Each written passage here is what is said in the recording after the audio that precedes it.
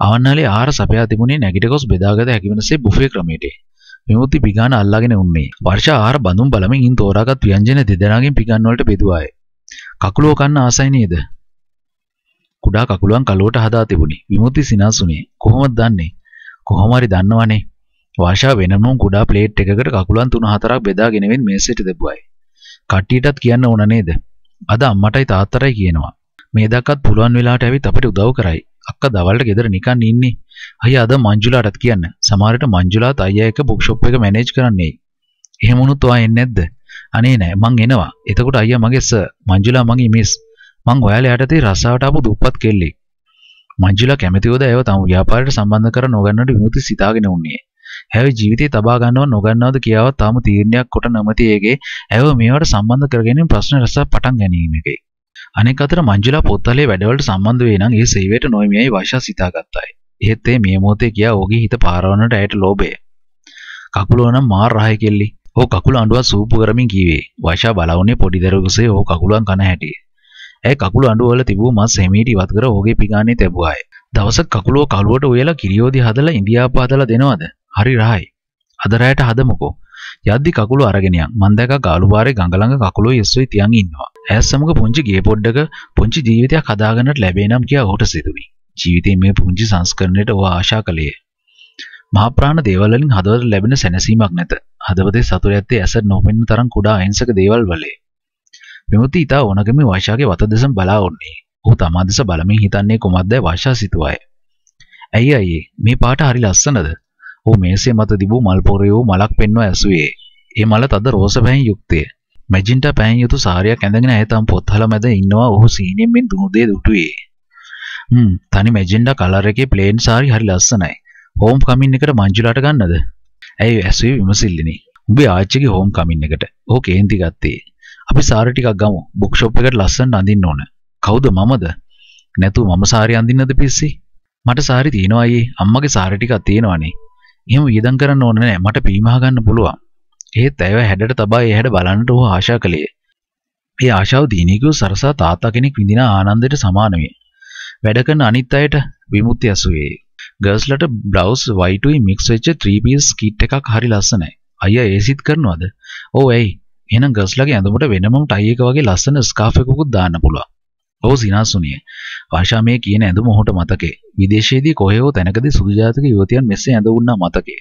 බොහෝ විට ඒ ගුවන්තොටුපළකදී විය යුතුය. එතකොට කොල්ලන්ට තද නිල් පාට කලිසමයි ලා නිල් පාට අත්කොට ෂර්ට් එකයි නිල් ටයි එකයි. ඔහු දසදහස් වතාවක් ඇයට ප්‍රණාම කළේ. රත්නපුර උපන් මේ යුවතිය මේ තරම් නිර්මාණශීලී ලෙස හිතන්නේ කෙලෙසද ඔහු පුදුමයි. කොහොමද බබා මේවා මෙච්චර ලස්සනට දන්නේ? දැන් නම් මං ඔයා නැතුව මේ බිස්නස් එක හොල්ලන්නේ නැහැ. ලස්සන නමක් දැම්මා. යුනිෆෝම් ඩිසයින් කළා. ඔක්කොම තීන්න ගන්න වානේ බබා. ඒ මම මේ විහිළුවට කියන කතා අයියා ඇත්ත කියලා පිළිගන්නවා. ඔබ විහිළුවට කියන කතා එච්චර හොඳ නම් ඇත්තට කතාවක් කිව්වොත් කොච්චර ලස්සන වේද? මටත් එක්ක ඩෙසර්ට් බෙදන් ඉන්න. ඇයි නැගිට ගොස් අලංකාර සැටින් රෙද්දක් දැමුව මේස එක තට්ටු තට්ටු වශයෙන් තබා තිබූ අතුරුපස දෙස බලා වුණාය. ඊටත් පසු කුඩා පෝසිලින් ප්ලේට් දෙකක් කියන අතුරුපස බෙදාගත්තාය. ඇය ඌට කොමුඩු පිටි තුන හතරම බෙදුවේ දැන් කකුලන් කෑ නිසාය. කකුලන් ඒ තරමට ගිනියීමේ. කකුලන් කනවන ඇඟ සිසිල් කළ යුතුය. නොවේනම් කකුලන් හදද්දී මුරුංගා කොළ යහමින් දැමිය යුතුය. කොමුඩු වලට අමතරව ඇය චොකලට් මූස් හැන්දද තද කහ පැහැයෙන් යුතු කස්ටර්ඩ් හැඳි දෙකක්ද බෙදාගත්තාය. මට කොමුඩු ගොඩක් දාලා. කොමුඩු රහයයි කකුල උෂ්ණයි. කොමුඩු සීතලයි. විමුක්ති ඔහුගේ ප්ලේට් එකේ රතු ස්ට්‍රෝබරි ගෙඩියක් හැන්දෙන් ගෙන ඇගේ පිගානට දැම්මේ. ඇයි ස්ට්‍රෝබරි රසයිනේ? මං ස්ට්‍රෝබරි ඉහි කනේ ගානට කාලා තිනවා බබා. ඔස්ට්‍රේලියාවේදී ඇපල් කාලා එපා වුණා. දොඩම් බීලම එපා වුණා. ඒ ස්ට්‍රෝබරි තියෙන්නේ මෙහි වෙරළු නෙල්ලි වගේ. ස්ට්‍රෝබරි ග්‍රේප්ස්ුයි අන්නාසි කපලා දාලා ඒක උඩින් මිල්ක් මේත් දාන කනකොට හරි රහයි.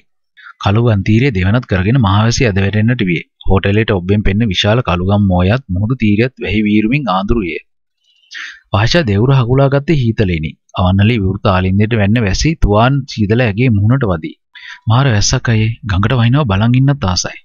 රත්නපුරේ වුන් වර්ෂාවට වැස්ස ගැන ඕනා තරම් අත්දැකීම් ඇත. සමල්ල කඳු පන්තිය පාමුලියෝ සබරගමු දිස්ත්‍රික්කයේ ඕනම මොහොතක අඬන්නට බලා ඉන්න යුවතියක් වෙන්න. රත්නපුරයට වහින්නට මෝසමක් අවශ්‍ය නැත. බලා ඉඳිද්දි කළු කර වැසි ඇද වැටේ. සීතලද? හ්ම්, ගෙදර හිටියනම් පොරවගෙන නිදා ගන්න තිබ්බා. වැස්සේ ගුලේලා නිදා ගන්නකොට හරි සනීපයි. ඔහුට එක එක දේ හිතෙන්නේ. හෝටලේ කාමරයක් ගෙන හවස් වනතුරු ඉමියයි යෝජනා කළොත් ඇවි ඊට කැමති කරවා ගත හැකි බව ඔහු දැනුන්නේ. ඒ තමා ඔහුට එද්දි කියූ කතාව සීවි. වක කියූතු ආකාරයට මේ ජීවිතය තමාට පවරාගෙන මිසක ඒ ජීවිතය මත අත්හදා බැලීම් කරන්නට නොයමයි විමුති තමාටම සිතාගත්තේය. ඔහු තුළ ඒ විසිලිමන්ත භාවය තිබුණේ. ඒ අධ්‍යාපනයෙන් හා දරුවා හැදි වැඩනු ආකාරය අනුව ඇතිවන ශික්ෂණයකි. තරුණයෙකුගේ ආත්මය සරසන්නේද මේ අවංක ශික්ෂණයයි. එහෙත් බොහෝ තරුණයන් එය දන්නේ නැත. වෙන තරුණයෙකු මෙවන් සුන්දර යුවතියක සමග හෝටලයකට එනවනම් එන්නේ මග පාමසයකින් උපත් පාලන කොපුවක් රැගෙනේ. විමුක්තියේ අසංවර කොළුකමුට ප්‍රිය කළේ නැත. වේගෙන් කඩාවෙන්න වැස්සට යමු ඔහුගේ නුවන් තුලෝ කල්පනාබර වාශා දුටුවාය. වැස්ස වහින්නේ හරහටය. සැබෑයි. ඒ දෙස බලා සිටින් පුදුම තරම් ආශා ගෙන දෙන්න දෙයකි. ඔබ්බේ වූ ලානිල් පැහැගත් නාන තටාකයේ මතට වැටෙන වැහි බින්දු සුන්දර දර්ශනයක් ඔහු ඉදිරියේ මවා පෙන්විය. තද වැස්ස ජලයට තෙත්තු සුදු අරලිය මල්ගස් වැස්සට හිස පහත් කරගත් යුවතියක් මෙනි. අයියේ අපි අන්ද තුනහමාරත් වෙලා. ඕ බැලේ බැගෑපත්වේ. ඉන්නමයි හිත. තමාටද සිතින්නේ එසේය. අල්ලන්නට අල්ලන්නට තව තවත් ඇල්ලන කොහොල්ලා බබගමෙන් ඕගාව සිත ඇලේ. යන්නත් පැයක් විතර යනවනේ යන්. අවන්නලේ සිට ප්‍රධාන ලොබියට පිරිසිද්දී බැසෙන පීගට පෙළේ කෙළවරේ අතිවිශාල කැඩපතක් ඇත. පීගට පෙළ දිගේ බසින ඕනම කෙනෙකුගේ සම්පූර්ණ ඡායාව මේ කැඩපතේ වැටේ. එයට පිවිසිද්දීම දෙදෙනාගේම ඇස්ගේ හැඳෙන රූප දෙකටේ. විමුක්තික් වර්ෂත් බැසේ අඩියෙන් අඩිය සෙමිනි. තමාගේ රුවාසලින් ඇඳිය යුතු එකම ආදර අජන්තා සිතූ මෙයයි ඔහු සිතාගත්තේ. ඔහු තමාට පමණක් නොව තමා අසලූ යුවතියෝද රස වින්දී. වාෂා සිනාසුනායි. ඒ සිනාව උදැකගත්තේ කැඩපතෙනි. මේ වගේ පින්තූරයක් ගන්න පුළුවන් නම් ළඟට වෙලා ඇයට හිතෙන්නේ මේවායි. ඔහු කැඩපතේ ඇදෙන රුව දෙස නොව වම්පසුව ඇගේ සැබෑ රුව දෙස බැලුවේ. අපි යන් හීල්ලමුකට සමාන සුසුම්කාරී හඬකින් ඔහුගේ වචන පිටවිය. වැස්ස යන්න එපා යනවනම් දෙන්නම තෙමෙතෙමි දුවමු වාහනේට. වාෂා කිව්වේ ඔහු පොල් රුප්පාවේ යට නවතා තිබු වාහනේට දුවන්නට සැරසෙද්දී. ඉන්නස මං මිස්සයි සර්වයි ඇරලවන්නම්. තනිසුදු ඇඳුමකින් සැරසුණු හෝටලේ ප්‍රධාන දොරටු පාලකයා විශාල කුඩයක් ඉහළා තැබියේ. කුඩය යටින් යද්දී ඔහුගේ අත ඇගේ බඳ වටා ගියේ નિરાසෙනි. ඇගේ ඒ පැත්තම හිරවිය. යුවතියකගේ බඳක වෙලීම මෙතරම් ආනන්දජනක වැඩක් යයි ඔහු සිතුවේ නැත. එයත් නැලෙනවා මාත් නැලෙනවා. ඔහු සිනාසෙමින් සිටියේ. වාහනේ එපිට තද වැස්සේ. එහි මූණත ප්‍රධාන වීදුරුවට වැහි බින්දු වැටෙන්නේ ගහගන්නට මෙනි. වැහි බීරුම් විසින් අවතන් කළ වැඟීම් පපුවේ තෙරපාගත් දෙදෙනා කළුතර පසුකර සෑහෙන දුරක් යනතෙන් නිහඬව සිටියේ. මොනවද බබා කල්පනා කරන්නේ? බුක් ෂොප් එක ගැන. සීනියා කදවතේ පැල කළ පසු ඒ පොහොර කවා හදා ගඩා ගන්නට හැමෝටම නායක. හැත් කාගේවත් සීන තමන්ගේ සීනමින් හදා වඩා ගන්න ආයද නැත. එසේ කෙනෙකු කරයි නම් ඒ ජීවිතය හා පෝරාත්මයේ සිටින බැඳීමක් තිබිය යුතුය. බබා කම්පියුටර් ඉගෙනගෙන තියනවද? අනේ නෑ අයියේ ඒ ලෙවල් වලින් පස්සේ මොන හරි ඉගෙන ගන්න හරි ආසාවෙන් හිටියේ. ඒත් එක එක ප්‍රශ්න ආවා. මං අම්මට කරදර කරන්න ගියේ නෑ. මං පටන් ගත්තට පස්සේ උගන්වන්න. මාත් ආසයි ඉගෙන ගන්න. ඇයට එවැනි හුරුබුටි වැඩ පිළිටනා බව දැනුන්නේ. පානදුර පසු කර අධිවේගී මාර්ගයට පිවිසෙන ගංගාසල වාෂා විමුක්ති දෙස බැලුවේ. අයියේ කකුලෝ ඔහු සිනාසේ එක දිගට වූ මාළුකඩ සමීපේ වාහනේ නතර කළේ. චූටි කකුලුවන්ගෙන් කිලෝ එකක් දෙනවද? ඇය වාහනේ ෂටරේ පාත් කර මාළු එළෙන්දාට කීවාය.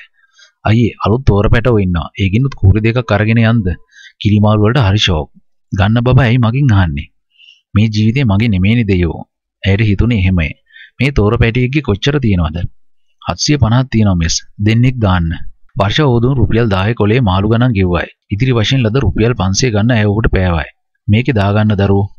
ඔහු ඇගේ ගෝලෙව බූල් පර්ස් එක පෙන්නා කීවේ. වර්ෂා ඒ මුදල් ටික ගත්තේ ආශාවෙනි. ඔහුගෙන් කීයක් හෝ ගැනීම තාත්තා ගැනීම දුවෙක් කීයක් හෝ ලබා ගැනීම හා සමානයි. තෝර මාළු හරි රහයි නේද? හ්ම් තකාලි එහෙම දාලා කිරි මාළු හදලා හරි රහයි. එහෙ ඉද්දි මං කෑවේ මාළු ග්‍රිල් කරලා. ඒ වලට ගන්නෙ මේ මාළු නෙමෙයි රතු පාට ගල් මාළු. ඔබ නොදන්නේ මොනවද ඔහුට අසන්නට සිතුනේ. ඇයි දිගු කල්පනාවකට වැටෙන්නේ ඔහු බාධා කරන්නට ගියේ නැත.